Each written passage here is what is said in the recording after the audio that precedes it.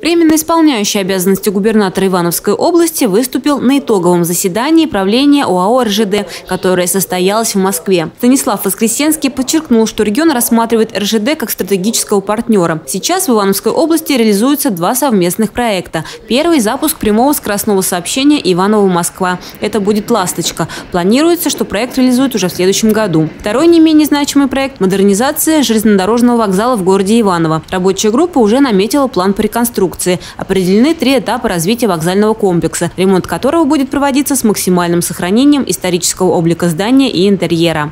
Это уникальный объект, э, памятник архитектуры, и мы надеемся, что совместными усилиями это место станет привлекательным с точки зрения городской среды, привлекательным для горожан и для туристов, которые к нам приезжают, станет не просто вокзалом, но и интересным выставочным пространством, культурным пространством.